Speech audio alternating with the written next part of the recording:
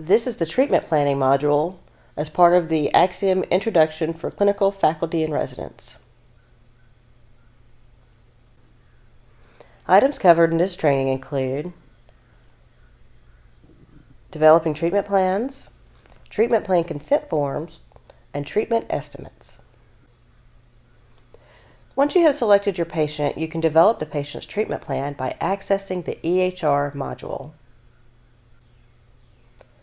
Under the Treatment Plans tab, click the Add New Record icon. This will launch the treatment plan window. Here you will enter the following parts of your treatment plan. Description, existing problem, associated diagnosis, and proposed treatment options.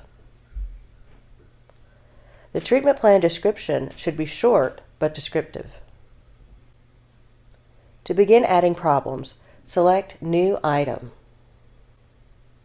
Click on the ellipses to the right of the problem field to access a list of possible identified problems. Notice that you can review a full list of possible problems or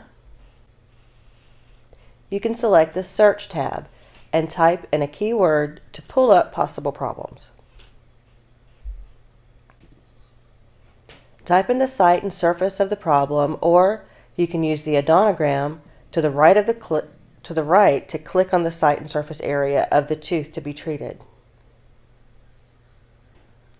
Click on the small green check mark to accept the problem you selected. You can add multiple problems if necessary.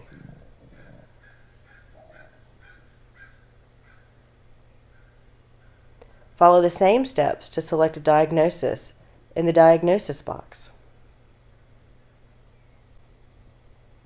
Again, you can add multiple problems if necessary.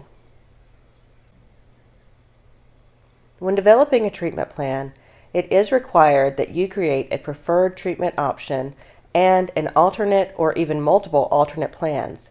You can add multiple treatment options by clicking on the Plus New Options tab. Under Treatment Option, select the Diagnosis drop-down field to access the list of diagnoses that you entered above in the Diagnosis section. Select one or more diagnosis description. Next, click inside the Procedure field. Selecting the Procedure field will access a full list of procedures to be selected from and added to your treatment option. Again, you can add multiple procedures if necessary. Once you have added all treatments, select the Approve option button. Highlight any treatments you accept and select Approve, then Close.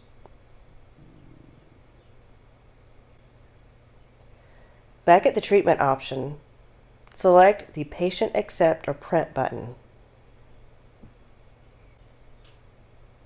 This will bring up the Patient Treatment Plan Consent Form for the specific treatment and payment option which you can discuss with your patient. Once the patient has verbally agreed to this option, click on the red X in the top right corner of the window to close the form. Closing the consent form will prompt you with a signature pad option to capture the patient's signature using the electronic signature pad that is attached to your computer. Click OK once signature is captured. Once your treatment plan is complete and the treatment option consent form is signed electronically by the patient, you will see the planned procedures listed in the patient's treatment history. The Treatment History tab is the area in which you will add the majority of your clinical notes and future treatment procedures and details.